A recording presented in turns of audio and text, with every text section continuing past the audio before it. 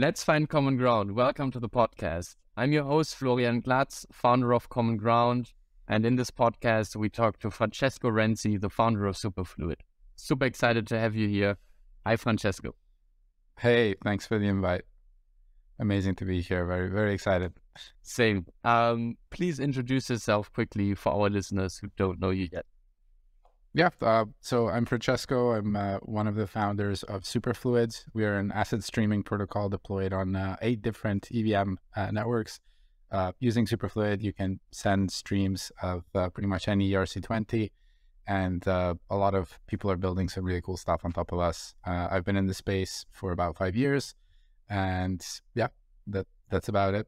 Before we dive deeper into Superfluid, uh, I agree with you. It's a really awesome uh, application or protocol, rather, that uh, serves application, uh, also common ground, hopefully in the future. Uh, I want to uh, understand a little bit how you actually got into Web3. we have a bunch of listeners who are sort of, you know, thinking about getting into it. So maybe you can share your own story in a few words. So this sounds like a trap. So uh, I, I'm basically I, I, just moved to Estonia, and Estonia is this kind of digital country. You know, a lot of uh, a lot of tech startups there, and uh, I just moved there. Second day there, I decided to go to a cryptocurrency pot, uh, meetup. Right, this was 2017 uh, in the autumn. You know, everybody was. I, I remember I walk into the room and I see everybody's laptops and everybody's got these countdowns right? I don't know if you remember, but it was like the period where ICOs did countdowns, right? There was a countdown and then you had to go and throw your money into the ICO. Uh, so there were all these countdowns. Everybody was super excited about, you know, tokens pumping and stuff like that. And uh, the meetup, you know, was full of people trying to sell rubbish, basically, uh, in terms of, you know, bad investments. But then there was one uh, presentation that was really good by this German lawyer, who I'm not going to name, and uh, that presentation was really really really inspiring. I remember at the end i asked him some uh, for some projects that he would recommend me to to check out. He mentioned Kleros, uh, i think true truebit uh, you know some of the more kind of crypto economically secured protocols right? So it got me down that rabbit hole. And uh, and then I, I, got a job uh, and had the luxury to kind of sit around and learn for a long time. Eventually started uh, coding as well. Not very well, but kind of enough to understand how to build stuff. And then uh, started to build stuff with uh, my current CTO and eventually landed on Superfluid. Uh, so, yeah, Florian was the lawyer at the meetup. So that's how we met uh, in 2017. And yeah, it's been a wild ride since. But yeah, it's uh, it's it's amazing because honestly, no one else at that meetup was impressive in any way. so if it, if it weren't for uh, your presentation, I probably would have uh, thought there was, you know, just a bunch of gamblers because that's basically what it was like. Um, but I think, uh, you know, the people who stick around in the bear markets are people who see past the gambling veneer, right, of crypto. Um, and that's kind of uh, something that, you know, I, I, personally feel like I owe you.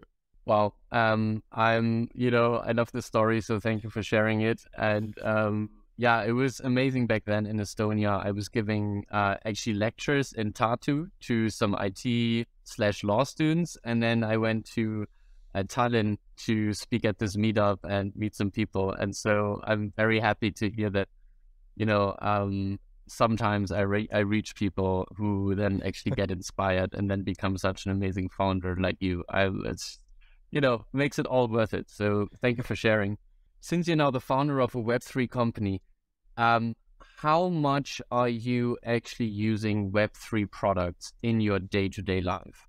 Um, and feel free to say none if that's, you know, the reality, or, you know, name us a few that you think uh, are already enriching your life. Uh, the background of the question is, of course, trying to understand how far are we in this Web3 revolution? Are we actually at a point yet where Web3 helps people in their everyday life? How is it with yeah, you personally? I think that's a really good question, right? And there's a couple of things that are uh, interesting. The truth is, most of crypto right now is still financially oriented. And I don't touch any financial app that often, right? I'm not a gambler, I'm not a trader. Like I don't I don't trade, I don't need to buy or sell stuff every day, right? So you could argue that I use crypto as much as I use fiat or fintechs, right? Uh, that said, I do use crypto quite often uh, for angel investments. I use crypto. I, I mean, I get my salary in crypto and streams, right? But uh, and that happens every every second. So technically, I'm always using crypto. Uh, but uh, I, I don't actually have to do anything because the streams just run on their own, right? So you know, it kind of depends how you how you define um, how you define using Web three. I'd say one of the apps I probably use the most often, which is associated to my wallet, is Lens. Uh, I, I think Lens is really cool. Use that quite often, and I do spend quite a lot of time um, testing all sorts of stuff that's being built on Superfluid. So any application that that's built on us, you know, I'll connect my wallet, test it, and you know, give some feedback to the founders. I do that quite often. So, yeah, I mean, I I, I think I I could probably use it more, but I definitely feel like I use it quite often. Uh, I love the answer. It's very honest, but also shows that there are real applications uh, for Web3 crypto today. It's basically mostly financial, but you also mentioned Lens, which is a decentralized social graph protocol that allows people to have sort of a Web3 identity. And then there are applications connecting to this identity. Um, there are apps like Twitter. There are other kinds of apps where you can basically have a sort of social experience that uses Web3 identities. And at Common Ground, we're in fact also going to integrate the Lens social graph because it's as such an obvious, uh, you know, um, utility that is provided um, with these on-chain social graphs that we want to use them as well. Um, so yeah, um, I like your answer. Thank you so much. And um, maybe a last question on this Web3 adoption topic. Um, we we're all in the crypto space currently looking, I think, quite enviously at the AI people. You know, they were like for years AI was like this, yeah, okay, AI, but you know, what what can you do with it? What like who has access to this? You know, it's like this dark magic. And now there's ChatGPT and I don't know, a million startups based on ChatGPT. Um, and uh, Satya Nadella, the, the Microsoft CEO, recently was quoted in, in having said that uh, blockchain needs its ChatGPT moment. Uh, do you have any yeah. prediction or gut feeling what will be Web3's ChatGPT moment? That's such a good question. I actually posed the same question to my team uh, just a few days ago, and more more in terms of uh, superfluid. So the way I think of it is actually OpenAI is actually or GPT has been around for a while, but then ChatGPT made it so accessible that everybody could go and you know write something, screenshot it, tweet it, right? And that kind of exploded GPT. But GPT has actually been around for a tight, you know, a bit longer, right? So if you think of kind of GPT as the protocol, ChatGPT as the first real app, right? And it's kind of the killer app, maybe, or maybe it was just the first app, right?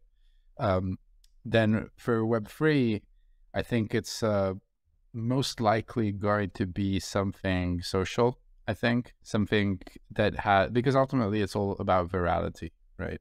Like it's all about like the only reason we know about this AI stuff is because it, it lends itself very well to to being shared and you know talked about. Uh, so I hope it's something more interesting than monkey pictures.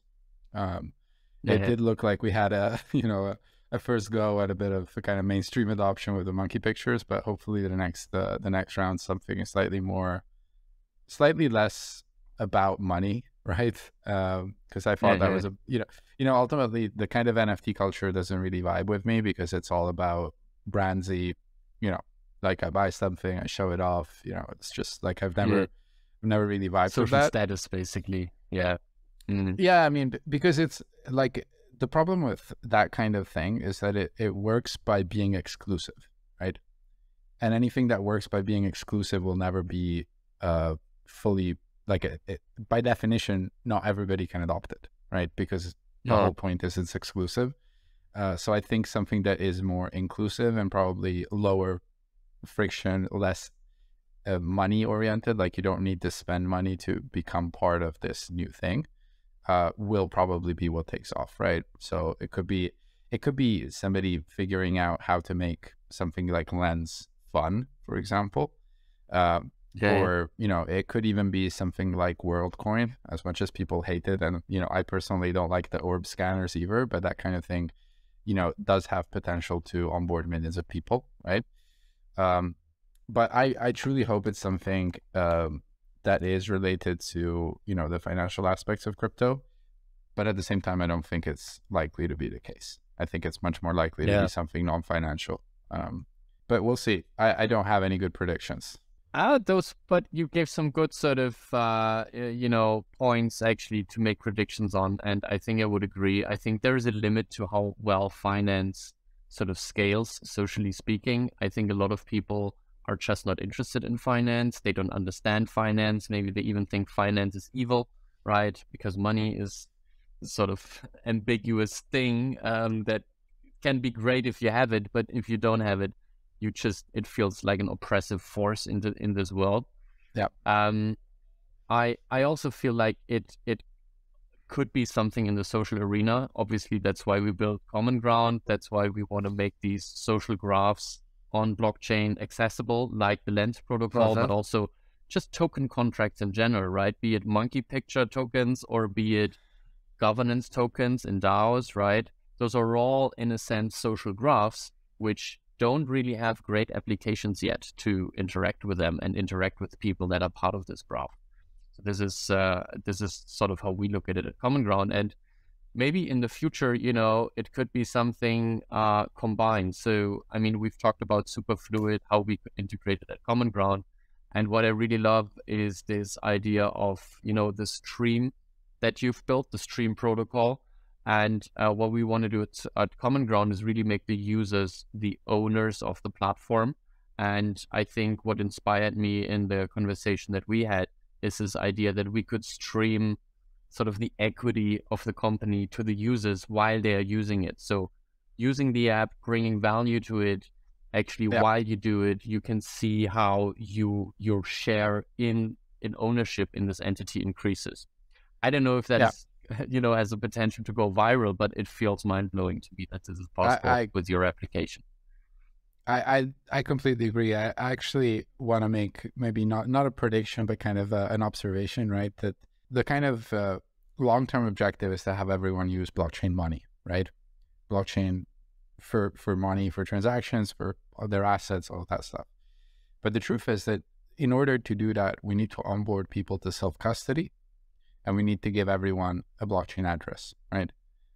But once you have that, then using crypto for more and more things becomes more obvious because I truly believe crypto actually has very good UX. Like the simplicity, like for me to send money to someone in the Philippines is really hard. I make a, I was making a, an angel investment in fiat and I got bounced twice by the bank, right? Like yeah. it is actually like crypto actually has good UX. The problem is the onboarding.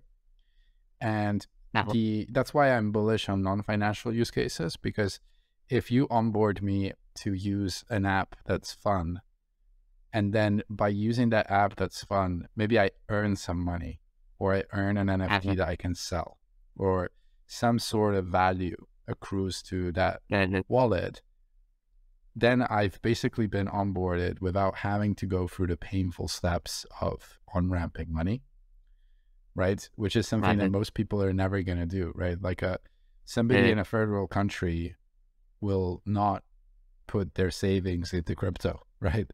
Like, but if you if you look at, for example, Axie Infinity, right? Axie Infinity onboarded millions of people in the Philippines who never had to on ramp because what they did is they joined the guild. The guild would give them some assets. They would play with those assets and earn more money. So they were ah. using the blockchain to earn rather than using the blockchain to invest, right? Ah. And the truth is, most people do not have capacity to invest. So ah. if we expect, you know, to onboard billions of people for investment, when most of the people in the world have no money to invest, we're not going to go very far. But instead, if we create mechanisms for those people to adopt Web3 in a playful manner and earn before they're asked to spend, then I think we we have a shot at adoption, right? Which is one of the reasons why I'm so bullish on gaming. But I also think things, like you said, social applications where there are things you can do without spending anything. And then eventually, by providing value, earn something are super, super valuable ultimately. And yeah, I mean, obviously that value should be streamed, but you know, don't need to talk my own book all the time. no, this is genius. And actually, I've never looked at it, I think, in the way you just framed it, but it makes total sense to me that um, actually, I would agree with you. Crypto has amazing UX once you're in the system because literally the simplicity of exchanging value is unmatched by any other system of value transfer that we've ever seen in the history of humankind. But getting on ramp is really, really hard. And funny enough, now in the United States, they are shutting down the on ramps to crypto, right? So it's actually getting harder. Um, I've just read the news that major exchanges can't receive wire transfers anymore in the United States. They really want to make it hard. It sort of feels like the US is becoming like Argentina, where they want to make it hard to acquire, you know, to sell your local currency into another currency. And I mean, um, I think uh, for this reason, exactly this reason, um, people shouldn't have to on ramp uh, through I don't know bank accounts and exchanges. It should actually them bringing value to a system and being rewarded based on blockchain based value or coins uh, for bringing this value. Thank you for framing it that way. That even uh, gives me sort of uh, some ideas. That's really some cool. ideas. um, yeah, some ideas. um, Let's talk about payments for a moment because obviously Superfluid is broadly in this realm of payments. Um, I hope I'm not framing it wrong. Correct me, correct me if I'm wrong, but that's that's how we, I it. If we just say payments, I think the problem uh, it's true, but people also associate payments with uh, like something really boring. So I, I kind of want to like, say it's not just payments. Uh, and cool. payments are usually moving money. And Superfluid doesn't necessarily have to move money, right? Uh, we don't think of moving as other kinds of assets as payments, right? But Superfluid realistically can be used to to move any uh, ERC20 style fungible token, right? So it's not necessarily yeah, about yeah. payments as much as it is about moving fungible value uh, across the blockchain in um, kind of new and scalable ways. That's that would no. kind of be my my definition. I actually uh, would would add that right now, eighty percent. No, let's let's let's say Ether is money. So sixty percent of our of our volumes are not uh, money. As much as we are about payments, most of our volumes are not about uh, money movement. They're about different kinds of tokens, which you know the moneyness of those tokens is debatable. So interesting, and I I mean that's what I love about crypto conversations. You just literally deconstruct any concept that you're traditionally familiar with, like the moneyness of the assets. That's such a beautiful uh, framing.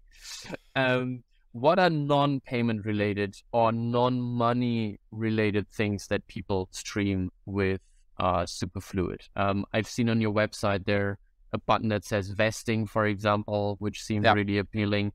Uh, can you give us some examples and and uh, what what people are doing with Superfluid? Yeah, so again, basically what Superfluid allows you to do is stream uh, any ERC20 from one account to another. Uh, the stream is perpetual, happens every second. It happens without requiring the user to ever touch the blockchain. So the user opens the stream with one transaction, and then the stream just goes, right? So it's this kind of perpetual movement of funds, which is very fixed, fixed in, in the way it works. Uh, and, but as a result, is, is also very flexible. So, for example, you can send and receive any number of streams at the same time. Those streams are netted between each other uh, in real time. So, for example, as you receive your salary, you can send your salary somewhere else, right? So every second you receive it and send it at the same time, and your account uh, doesn't accrue any money because it's kind of, you know, as it receives, it's sending uh, the money forward, right? And by doing that, you can, for example, uh, receive your salary in USDC, but reinvest it in real time into Ether right? So you can do these kinds of uh, pretty interesting things.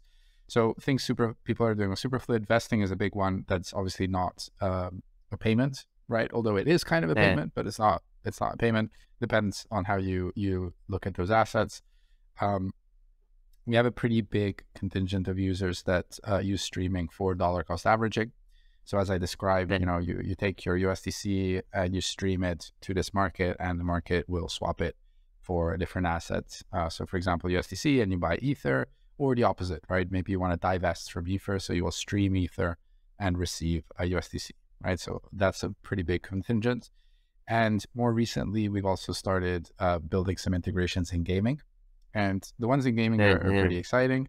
So in gaming, Yeah. Uh, imagine you have an in-game currency and you stream that to the game to get access to some, uh, you know, special features. In the specific case of the game we integrated most recently, you're basically renting land in the game by streaming the in-game Yeah. asset. And by renting that land, you can then stake your NFTs on the land and earn yields. Uh, you know, there's a whole kind of game mechanic. But uh, with in-game assets, I get really excited because basically, since we launched that integration, we got 25,000 users to Mhm. uh, to basically start streaming this in-game asset to this uh, contract in the matter of two days. And that just you know, doesn't doesn't happen very often for us. Like so, mm. we got very excited wow. about that, and I started thinking more about gaming. And ultimately, my vision on on Web3 gaming is that we we're building all this kind of financial and non-financial infrastructure around public private keys you know all this kind of really cool stuff and we all have this vision of a future where everybody's using crypto for everything and all of your money is blockchain and you're using it for all your uh, all the economy is running on the blockchain right we all have this vision but we you know when you know if you kind of drag us back to earth we will all admit that it's probably about 20 years away right but if you look at an in-game economy you can Uh-huh. design that from scratch to completely use crypto right like Mhm. you can design a web3 game with a functional economy with money moving from A to B to C to D to you know wherever, flowing around in different ways, and you can design that fully uh, on crypto rails, right? And that's what a lot of these on-chain web3 games are doing.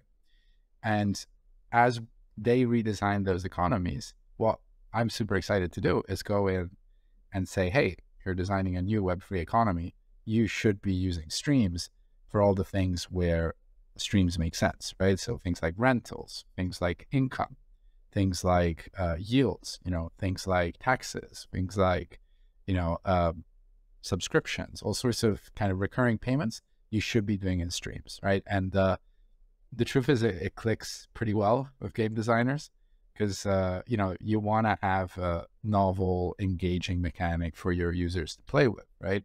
And Yeah. uh, it's very easy to build on chain because it's one function call, right? You have a token, and then the same way you would do token transfer, you do token stream, right? It, it, it just works incredibly well, and it's very simple to understand, very simple to build with. And as a result, uh, for example, this this gaming integration I was talking about before with this game called Planet IX, it took us about a month to set it up, including the contract, the UI, everything, right? And um, yeah, it's it, it's very exciting. You know, I, I think we're gonna start seeing a lot more games, uh, on-chain games, because they're they're this way, this this Trojan horse to onboard users in a fun way, right?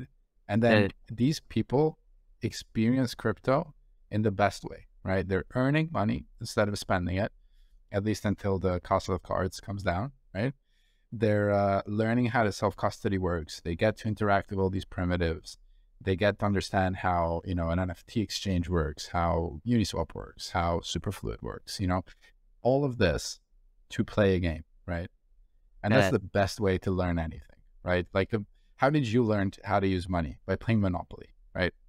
It's the same thing, right? And this is kind of the economy of the future that we're building. And instead of onboarding people in a high stakes environment where we ask them to put all their savings into Bitcoin and to only transact with on chain wallets, instead of doing that, we onboard people with super low stakes environment where they're playing a game, moving around, you know, $20 basically. Occasionally, maybe they get to off ramp something and, you know, be happy about it. Uh, and in the meantime, they get to experience all these things and maybe something will stick, you know, maybe they will eventually move their savings into crypto. Maybe they will start thinking, hey, maybe I should get paid every second that I work, you know? There's a lot of uh, opportunities in my 100%, opinion. right? There's even this uh, idea that I've heard um, uh, years ago already is that, um, you know, when you've designed a sophisticated in game economy, at some point you can turn this in game economy just into a real economy, right? Just like flipping a switch, right? It's been a game up until now, but suddenly it's not just a game anymore. The money or the assets from this game are suddenly, you know, real in a sense. And I think with crypto, that's always possible because every asset can be freely transferred. And so Exactly. if there is a market for it, right, you can stop maybe paying your rent with it or I don't know, and and you know, there, there are so many options. Um, but then maybe throwing a, a little wrench uh, in, in, in this in this vision. Um, um, some some critics of of uh, the crypto future that we're envisioning are actually criticizing, I think, exactly this element that gets us excited, which is this. They call it the hyper financialization of the world, right? This this uh, vision where everything you do, you always have, you know, sort of a stream visible of some resource being taken away from you or you earning it. And everything suddenly becomes oriented on exactly those metrics. Um, we've seen, you know, some some awful, uh, I think, visions uh, presented by um, in, in one Black Mirror episode some years ago where everything is about social status, right? I see someone and then I immediately rate them. Those Yeah. kinds of interactions. Um, do you ever think about this, or is this something that you are, you know, concerned about? That you are sort of, you know, uh, building. I mean, I find I I've tested hyperfluid, also uh, superfluid, also with you, and I find it it's so compelling to see how you know this amount increases. It's gamified in a deep, deep way, and I think the human psychology is triggered by this. Are you uh, are you afraid sometimes that you're building sort of the you know the atomic bomb sort of of No, hyper, no. hyper financialization? I I think I actually think that that is a very flawed view. Um, like it's not something I think about too often, so my my thoughts on this might not be completely uh, completely kind of thought through. Uh, but generally speaking, I think there's a big divide between people with assets and people without assets, right? People without assets tend to rely on income. People with assets uh, generally, you know, have sufficient assets to not need to rely on income, right? And the truth is that what blockchain, what the blockchain technology does very well is creating new assets, right? When you uh, play a game and get an NFT, that is an asset, right? And most people never have assets. Like if you think of someone in a third world country, they work all their life for minimum wage, they never have anything. They never have a house, they never have a car, they never have anything, right? Uh, they're literally living, uh, what's the expression, hand to mouth, right? And what crypto does very well is creating assets. And I think creating assets is a way that helps people who otherwise don't have assets to achieve some semblance of uh, financial opportunity, right? Because assets are ultimately the way you achieve uh, financial freedom, right? In a very broad sense, right? Like uh, financial freedoms usually, oh, buy a house, you know, passive income, blah, blah, blah, right? Those things are the only way you can achieve that is through assets, right? Now, I'm not saying that NFTs are going to save the world, right? But I do think that uh, allowing people to create smaller assets and reducing the friction that goes into making things of value and allowing people to have those and use them in a financial sense will allow for people to have greater access to finance. And you know, you can call that hyper financialization if you want, but if that's what you call it, then I think hyper financialization is a great thing because you're basically giving people who never had access to finance access to finance, right? While at the moment, access to finance is basically only for people who actually have things, right? Like if you if I if I told you get a get a loan, right? Yeah, sure. You you have a house, you have a car, you you know, you're you're well off, you'll get a loan, right? But if you go and ask someone who only has an income to get a loan, they're gonna, you know, if they're lucky, get a very bad loan, right? Um, so I think ha- helping, basically creating more assets, allows more people to have assets, and allowing more people to have assets allows more people to access uh, better loans because they have assets to secure those loans. As much as you know, again, sounds aspirational to think that NFTs will turn into collateral that people can use to improve their lives. I truly believe that, and I think uh, it's it's a very kind of privileged view to think that that is a joke or a game, right? Because we've read the stories of people in the Philippines literally earning money from Axie Infinity, right? And what that is Mhm. is literally a game producing assets out of nowhere which create wealth for people who would otherwise be less well off, right? Ah. And you know, I think if you extend that to more applications, you know, it could be games, it could be social apps, it could be, you know, maybe somebody starts earning appreciation points on some social app of the future, and that actually improves them their life, right? For whatever reason.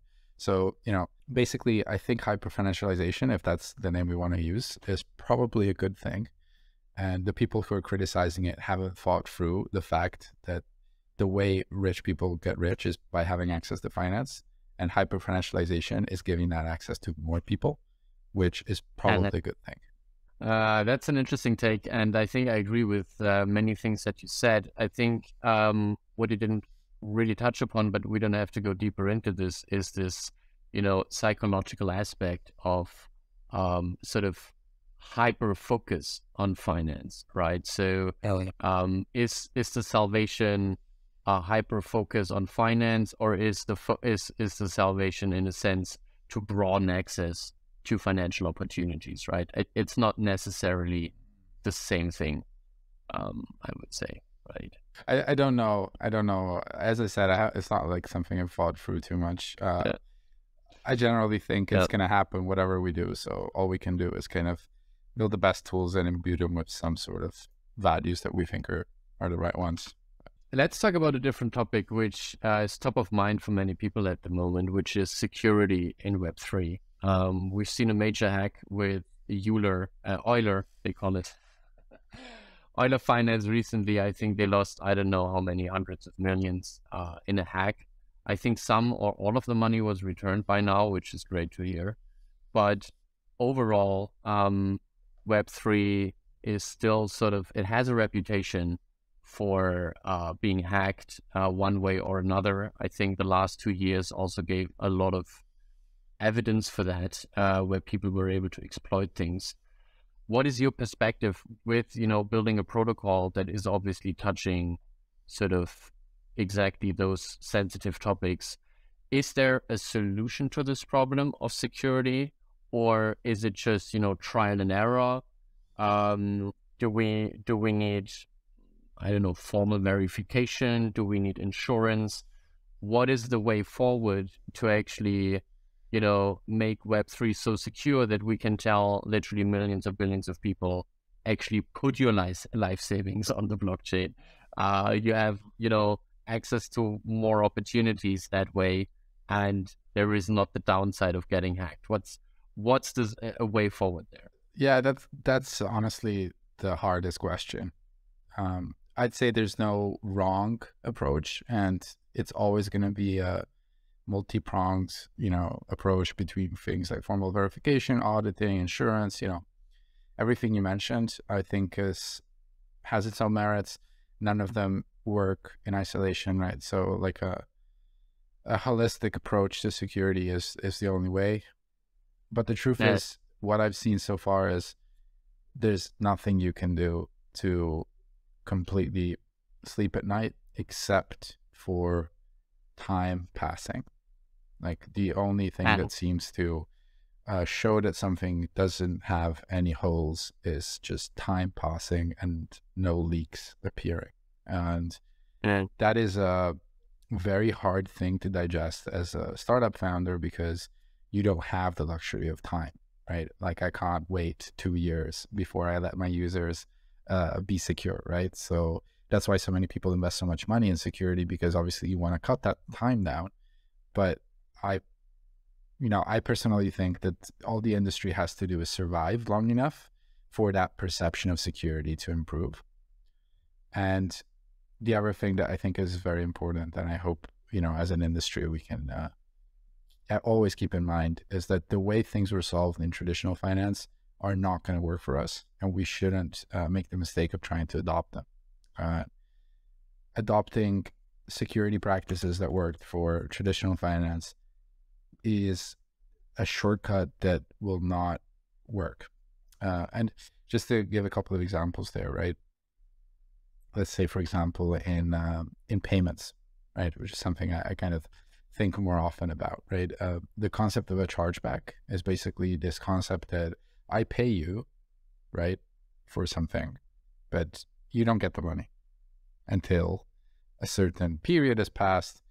And then if I change my mind, I can kind of take that money back and say it was a, a scam. And maybe it was a scam. But the point is, when I said I gave you money, I didn't actually give you money. Right? There's an intermediary. There's a lot of time wasted, a lot of capital inefficiency, a lot of, uh, you know, insecurity on your end. And uh, the worst part is that this intermediary also will penalize you if uh, there's a chargeback. So, you know, I've seen these crazy stories of, you know, a merchant getting a payment and then the payment getting charged back and the merchant having to pay a fine to the intermediary. So not only did they not make the money, but they also had to pay extra on top of that. And this is just a terrible system, right? It's like it's obviously a terrible system because basically what it's giving is a ton of insecurity around everything, um, while you know not necessarily solving the problem because it doesn't. Um, there, there's no guarantee that the chargeback is not a grief, uh, a griefing attack from my end, right? So basically, and and you know, you listen to a podcast and there's these people that work in fintech that are like, oh, crypto payments are never going to make it until we get chargebacks, right? And that is just Yeah. so annoying. That's like a horse guy saying, oh, cars are never going to make it until they have better saddles, right? And I'm like, you don't get the point, right? Uh, we have to develop better security practices rather than the same Yeah. security practices because the medium is different, right? The the way the technology works is different and the solutions are not going to look the same, right? that, And I'm not saying I have the answers. I'm just saying uh, adopting the same solutions is not going to work and is going to like basically inherit. That's the thing, right? It inherits the slowness. So let's say we, we Yeah. adopt chargebacks. Well, suddenly crypto doesn't settle instantly anymore, right? Yeah. And you know, what do you call a, a system It's- that doesn't settle yeah. instantly? You know, TradFi, right? Yeah. Um, so- I'll, I'll give you one example, right? One thing that, in my opinion, for example, does improve security is streaming. Okay, not not to kind of you know talk about Superfluid, but if you think about it, um, if instead of sending you a thousand dollars, I open a stream to you, which will transfer a thousand dollars over two days, right? That gives me a ton of time to uh, make sure that that is correct, while still giving you the security that that payment is in fact happening, right? And Wow. you know, I literally just came up with that. But I'm just saying there's better solutions, and we should try and avoid uh, adopting the things that made TradFi work so badly, right? Uh, which Yeah. obviously, you know, the delays in settlement are one example, chargebacks are another example, but also things like KYC and AML are another example, right? Those are patchwork solutions that don't actually solve any problems, and adopting them in Web3 does not take us anywhere uh, because ultimately they slow down uh, technological um, solutions that could, you know, uh, solve the problem. I, I don't know if, if I'm making sense, but basically, what I'm trying to makes say total is sense. new technology Yeah, I get it. new solutions, and any regulation that is prescriptive in the way solu- in the way Yeah. problems need to be solved ends up ruining the opportunity to solve actually solve the problems with a better techno- technical solution. It reminds me heavily of what the EU has done at the moment in the Data Act, where they have created a provision that says smart contracts need essentially a stop routine embedded in them, such that at any moment in time, the operator of the smart contract can halt all, you know, interactions with a smart contract. Basically making this concept of unstoppable you know, I don't know, finance, unstoppable smart contracts Yeah, yeah. completely void, right? Where you're really thinking Yes. like, how did you come up with that, guys? That's such a bad It's a, typical typical regulator mentality, right? It's uh, yeah, you have your you have your solution, and your solution is obviously the best because we have it, right? We don't have we don't have another one. We have this one, so but it doesn't apply to this new technology. It doesn't have intermediaries. How can we apply all this intermediary based uh, techno- uh intermediary based solutions to a technology that doesn't have intermediaries? Well, Yeah. obviously we need to introduce intermediaries, right? Which is like the whole point was to avoid the intermediaries, right? I think from a legal perspective, you know, the problem is um, that you know every every contract has two phases. There is the phase of, you know, primary exchange of services, but then there is the second phase of, oh, well, the services rendered actually were flawed. And now I want some money back in what I paid for these services, things like this. And in a crypto system where everybody's sort of anonymous, you don't really know your counterparty.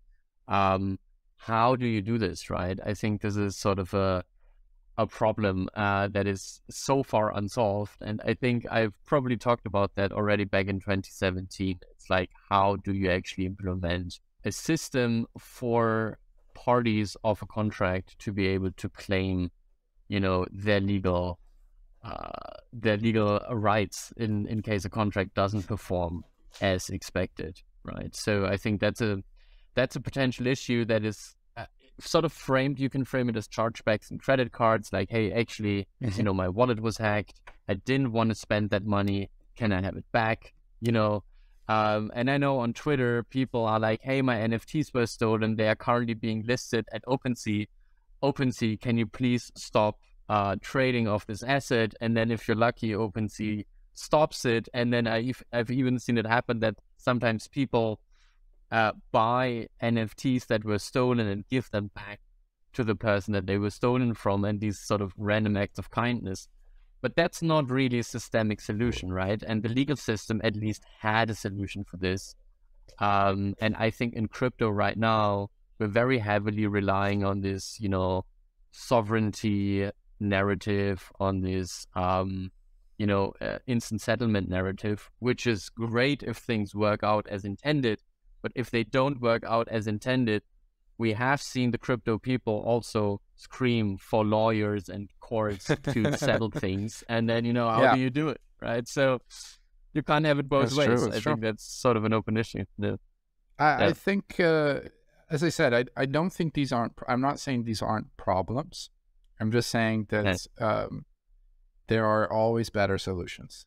Francesco, thank you so much for being with us today. This was an extremely interesting conversation. Uh, some really good points raised. Uh, I wish you good luck with Superfluid. Um, I hope we see each other in the next bull market, happily integrating with each other, and um, you know, rocking rocking the next generation of crypto applications. Thank you for being with us today. It was amazing. Yeah, thanks thanks for the invite, and uh, I hope we can onboard the next uh, billion users together, hopefully on, on common ground and Superfluid.